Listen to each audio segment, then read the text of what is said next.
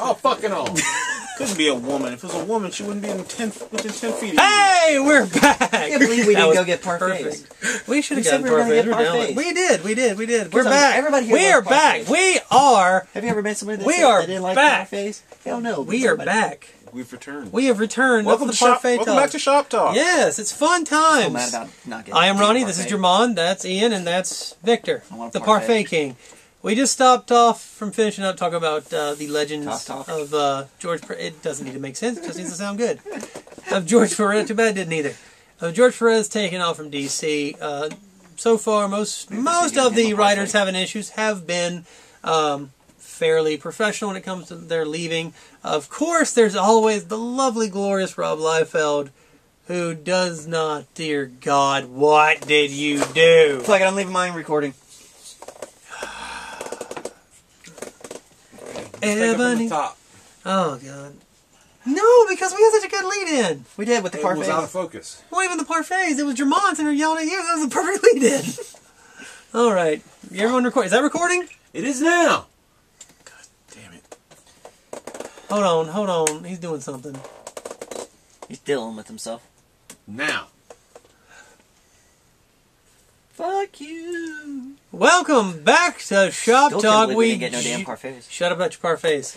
You Or you, there will be no pancakes next time either. Good, maybe I won't be throwing. Oh dear mouth. God. We're back here at Shop Talk. I am Ronnie. That is Ian. This is Jermon. That is Victor. And the camera better be in focus.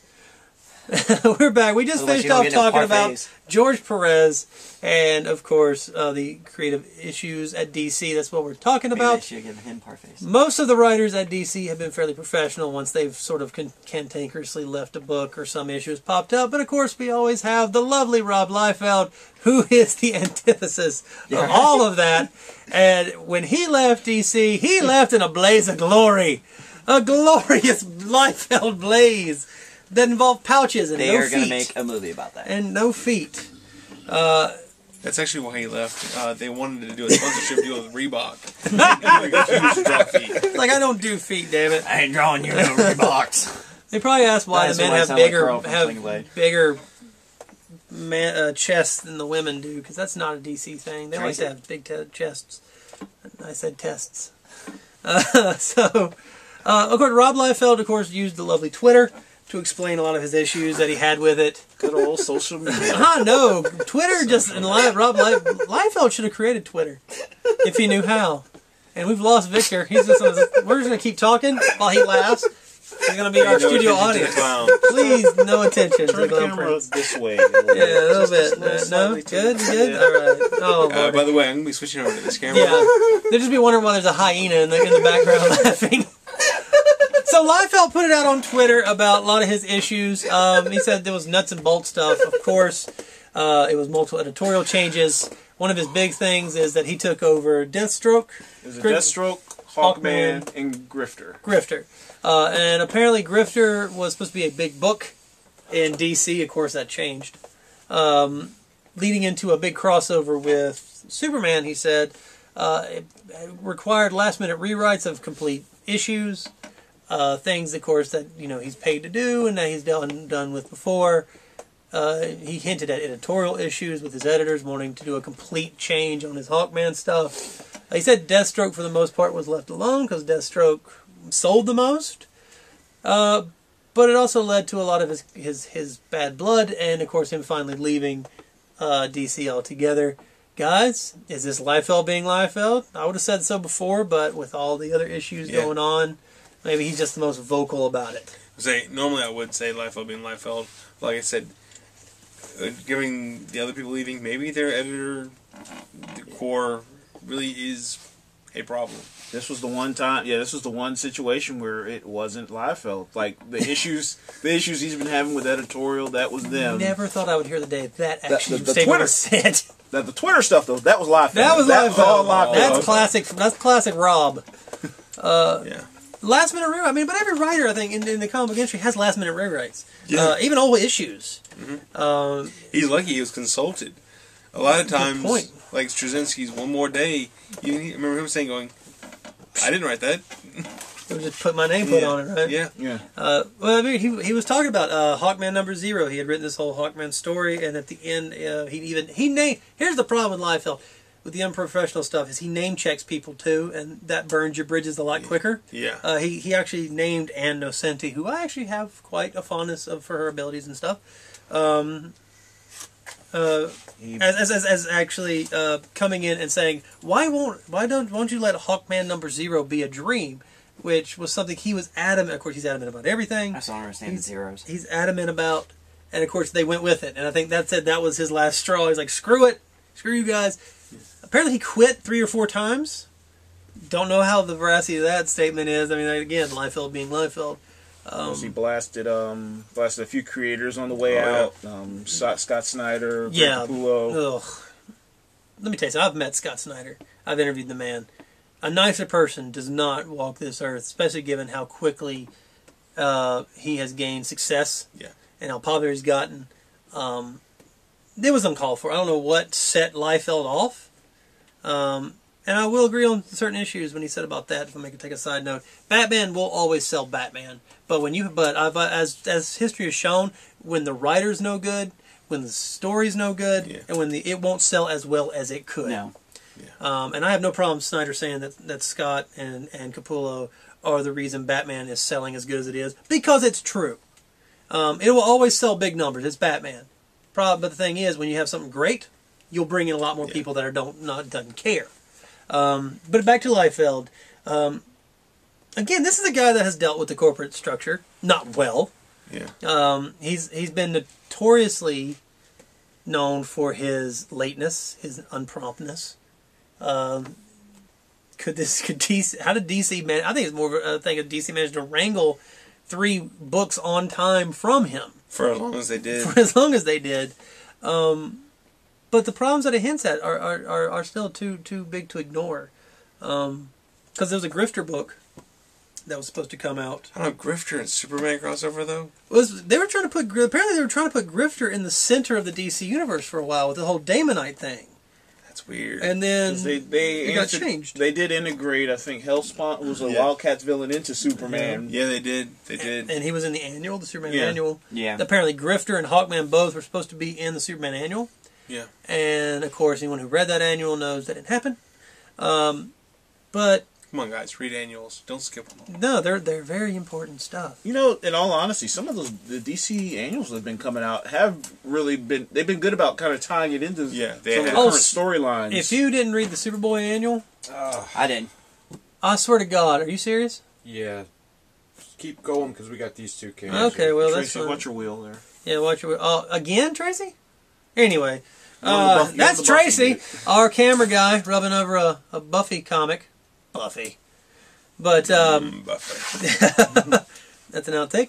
Uh, Buffy. but what's saying with the annual? Yeah, if you don't read the Superboy annual, you're not going to be left out of the of the Hell on Earth thing. But it's also a good. Yeah. I'll say I'll say do the Superboy thing because it's a great interaction between Superboy and Superman, No. which has been fun to have. Anyway, back to Rob Liefeld.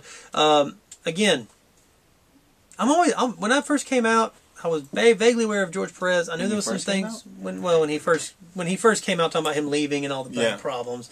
Uh, the big deciding factor for me that there may be more, more to that than just Rob being Rob Yeah. was in December when out of nowhere Gail Simone's off Batgirl Yeah. and Gail Simone is Batgirl. All right, this isn't That's like all. That came just out of nowhere. Nowhere, Critically and- acclaimed run. commercially success. I mean, it's not a top ten book, but you know what? It's it's a solid- It's, It's it's Batgirl. solid Batgirl's sales. never top ten. No, but she has sustained. Uh, she's sustained her sales. She hasn't fallen off as big as she has Yeah. as other books have. I mean, it's still one of their top books. And Gail Simone has a fan base unlike any other. I'm one of them. Yeah. Um, I only own the first issue. only on the, fir- only on the, fir- oh, you're you're a shame. It's Well, no, it, I'm on a very tight budget, and I- Understood. and also too, um, they have a flashback of the Killing Joke in there, Yeah. and I like to own that one, saying, "No, look, my, my Killing Joke Yeah. shirt is exactly like that one. Look, I'm more, I'm con, you know, I'm up to date with it." Fair enough. Fair enough. Uh, but uh, they let her. Apparently, the new uh, editor that came on, Brian Cunningham, and for reasons that we'll never know, we don't know if it's higher up or if it's on his own thing. Uh, cut her, just cut her out. Um, uh, the reasons behind, again, was editorial disagreements. Uh, with some people saying that it dealt with uh, DC wanted her to be paralyzed again, um, or just something very violent that, that that Gail did not agree with. And if you've read the the Batgirl stuff, there's a lot of violence in the Batgirl comic. Yeah. There is. um, and you have to kind of I've I've flipped through them, Yeah. and there's but then, what, budget. yeah, just again, uh, she was out. She's gonna be out by this issue, and then seventeen and eighteen, or whatever, or eighteen nineteen, were gonna be written by a secondary writing team or whatever, and then they were gonna announce the new writer Yeah. was, and who was the new writer?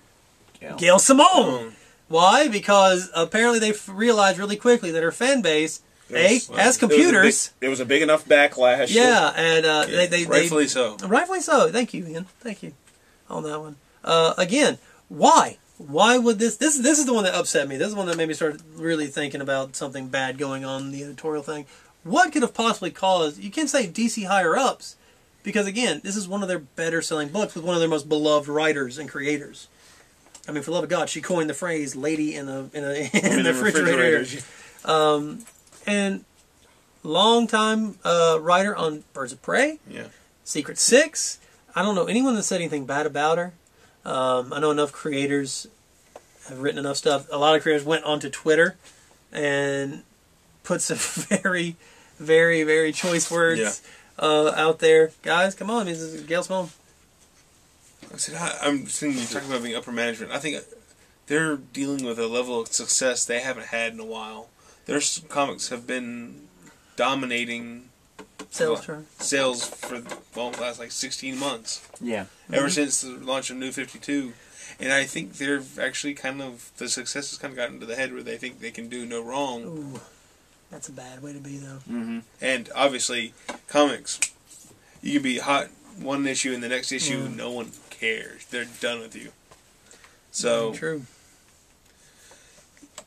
And I, I wonder how much of the editors thinking they that it was their doing that was causing everything to be great. When Well, anyway, editors. I mean, they they choose the storyline. yeah, I mean they choose. They thought their direction, their Yeah. vision, was the one that people want. And a lot of times it's the nuance of So we got what maybe a, a new. So maybe what we're seeing is because I never thought about that actually. Uh, Brian, a new editor. Maybe he has an idea for Batgirl that Gail's like, that's not what I've been building up to, yeah. And that could be the issue. Is that maybe? Yeah, I mean he, that's he that- overlooked there- this. There's probably like a lot of behind the scenes stuff that nobody really knows. And Right. never will. I mean, Yeah. it could have just been as simple as Gail could have just said the, just a little innocent little mark, and it just peed off the wrong person, and they they let her go for that. I think they learned it- something really bad then. Or it could have been that she she chose to um, never put Barbara back in the wheelchair, I don't And think DC she should. and DC's like, no, we're gonna put her back in the wheelchair because people. Um, People have been screaming for it, but that never made any sense to me because That's a they've they've they've step- to, they've told that story. Yeah, it's Yeah. a step backwards to me. It's like the Very whole. much so. It And kind of defeats the purpose of even doing the new Fifty Two. That's what made me actually want to read Batgirl because at first when I heard that she was back, I was like, "Oh, they just undid all that work. That's crap." They're like, "No, that all happened." Yeah. But now she's been walking. I'm like, "Oh, well, that's a very interesting story. That's what got me Yeah. back into her." Uh, 'cause I love Stephanie Brown. She was great as Batgirl, but this is an interesting story to Yeah, me. I mean, it's essentially like I mean, like Dark Knight Rises, where you know been out of the game for a while, is you yeah. know, trying to get back on your Yeah. feet, and And Gail has been writing a very interesting take on Barbara as someone who's having to deal with. She's putting herself back into a a situation where she could wind up back in that chair anyway, or worse. Um, some you know, again, I don't. Maybe we don't understand it because we're we're farther away removed. We don't know all the details. Uh, it's one of those weird kind of things where you just. Wonder how much of it's Warner Brothers. That's another good point. Yeah. It's the Bat title, and Batman is. I mean, that is their big. yeah, since DC. 16 I I actually did the thing there are 16 bat specific titles between That's bat lot. family bat That's a quarter family. of their yeah, quarter of their output. portfolio. Yeah, Yeah. Oh jeez. Oh, I Well, mean, that's more than a I quarter actually. that's It's because- 52 yeah, well do you think this will actually teach them? Because this is actually the first time that there was such a big backlash that dc had to re Yeah. retread their actual statement and, and bring her back on. We got two issues without her now coming I mean, up. It's. I mean, it's not unprecedented. I mean, it's There's happened no- with other companies like Mark Waid with Fantastic Four. Yeah. But again, we got DC at the height right now of, of the comic book world still. Yeah. Um, for the, I mean, buying, getting shares that they haven't had in, in a while. yeah. And I think the worst thing they can do is actually get a big head about this. Not to mention, yeah, you gotta wonder about Wonder Brothers' in- uptake on this because, They Whatever. own DC. and when we come back from break, we're gonna talk about those higher ups at, D, at, at Warner Bros. and DC, Yeah. uh, and try to figure out maybe. Well, we're just gonna discuss possibilities because we don't know that much, but we're gonna discuss it. Yeah. You're gonna watch it, and we're gonna talk some more shop. We'll be right back. Can I take my pants off now? Yes, you can. Please do. I, I, didn't, I didn't know if you put your one finger up or not.